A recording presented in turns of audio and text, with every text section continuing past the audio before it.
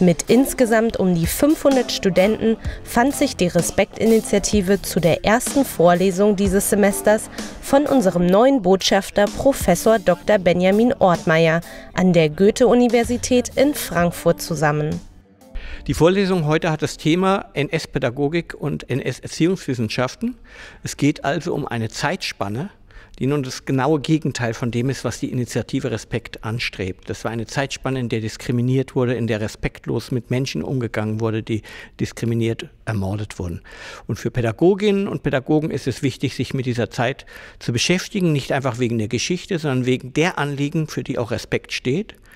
Nämlich vor allen Dingen, dass Menschen nicht wegen ihrer Religion, Hautfarbe, wegen ihrer Kultur, wegen ihrer Nationalität diskriminiert und respektlos behandelt werden. Zu diesem Thema zeigt sich der Professor jedoch auch sehr modern. Als Einstieg diente das Lied Clandestino von Manu Chao, in dem es um das Schicksal illegaler Einwanderer und Migranten geht. Finde ich auch sehr, sehr wichtig. Das hat ja der Professor Dr. Ortmeier auch gesagt, dass wir im Endeffekt mit äh, ganz vielen Kindern äh, verschiedener Nationalitäten zu tun haben werden. Und da ist es auch wichtig, dass natürlich die Erzieher dementsprechend auch damit umgehen können, sage ich mal, ja, und auch Erfahrungen damit schon haben. Das ist ganz, ganz wichtig, denke ich schon. So, die Vorlesung beginnt jetzt in ein paar Sekunden, denn wir sind in Deutschland, da ist man pünktlich. Wie heißen diese Tugenden? Sauberkeit, pünktlich, weiß, kann es jemand mal reinrufen? Gibt es einen Namen, lateinischen dazu? So so Tugenden, kennt es jemand?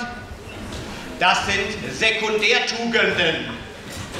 Die kennt man, wenn man fragt, was in Deutschland Sekundärtugenden ist. Treppe putzen, pünktlich, sauber.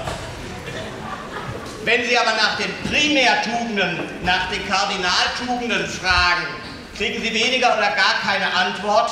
Die gibt es seit 2300 Jahren. Die erste und wichtigste Tugend, die Aristoteles nach Platon festgelegt hat, ist die Tugend der Gerechtigkeit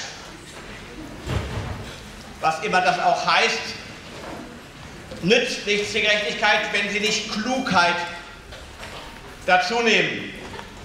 Und wenn sie sich klug für Gerechtigkeit einsetzen, kriegen sie relativ rasch auf den Deckel. Also brauchen sie noch was als Primärtugend. Nicht Pünktlichkeit, Sauberkeit, Putzen, sondern Mut. Das ist Kern dieser Vorlesung. Gerechtigkeit, Klugheit, Wissen, mit dem Wissen angemessen umgehen können. Mut. Es gibt eine Initiative, Respekt, kein Platz für Rassismus, um in dieser Tradition von Ernst Dewey etwas zu tun, werde ich jetzt dieses Schild, mal sehen, wie lange es hängen bleibt, hier in diesem Vorlesungsraum aufhängen.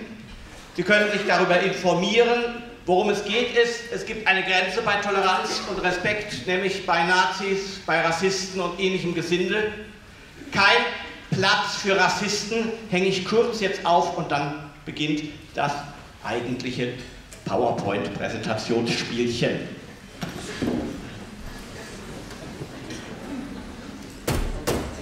Kurz und schmerzlos, ein Mann klarer Worte. Die Studenten sollen wissen, woran sie in den Vorlesungen von Professor Dr. Ortmeier sind. Sie können mich einordnen, wo ich grob gesagt politisch stehe dass ich für diese Initiative mich einsetze und das ist auch gut so. Natürlich sind das alles nur Mosaiksteine, kleine, man weiß nicht wirklich, welche Wirkung es erzeugt, aber viele kleine Aktionen führen doch dazu, dass insgesamt das Thema kein Platz für Rassismus auch an der Hochschule bekannt wird. Und die Studenten geben eine positive Rückmeldung. Ja, das finde ich super. Ich finde es auch sehr gut, dass er jetzt da dieses äh, Schild äh, aufgehängt hat im Hörsaal Respekt. Ja? Super Sache.